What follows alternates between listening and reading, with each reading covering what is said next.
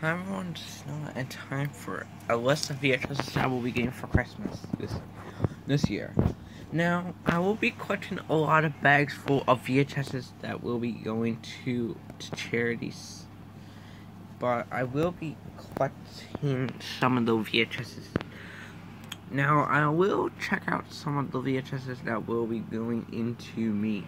And I will be just doing a VHS update for these VHSs that are going into the bag with me on for Christmas. But I will make, I will tell you the list of bags I will get. And I will tell you the openings in the VHSs well, I'll be collecting soon.